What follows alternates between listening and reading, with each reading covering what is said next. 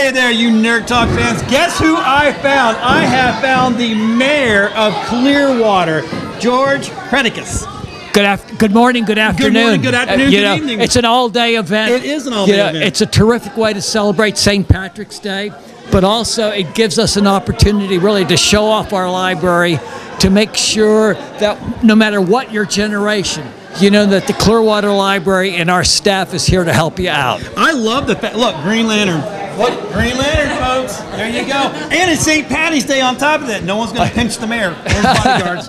We got to make sure no one gets to him today. So, um, Mayor, how are you liking this so far? It's exciting just to see not only the costumes but the enthusiasm of the people, and and they're going to come back. You know, to use the library for what it's intended to use. Right. But in today's world, a library is more than just books and stalls where you study in peace and quiet. Exactly. It's in a vibrant place, and it's an exciting place. It's really the center of downtown. So, so what did you think? What did you think when someone came to you and said, Mayor, we're going to have a Comic Con in Clearwater at the library? What do you think? Did they have to pick your uh. jaw off the ground? I, I, be honest with you, I almost said, wait a minute now, that's not what a library's supposed to be.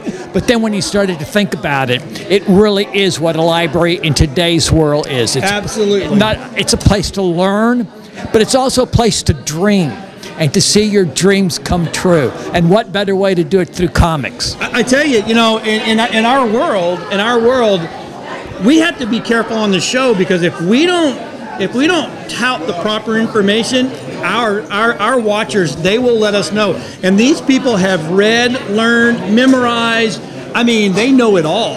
So it's kind of tough. I never, you know, I'll argue with a dumb guy all day long, but I'll never argue with a nerd because they are fact perfect. Very true. Very You know true. what I'm saying? So, uh, Mayor, thank you for Thank you very much. Thanks for being here. No time. I know problem. getting, uh, I know. I don't know if you're heading in or heading out. We're, we're heading out. We have a couple more St. Patrick See, Day events, it's a and day it's a busy day in Clearwater. Exactly. But we appreciate everybody being here and look forward. You know, this is the fifth year. Fifth you know, year. and it keeps growing and growing. So I can't wait to see it in the future. Excellent. All right, you nerdites. We'll see you later.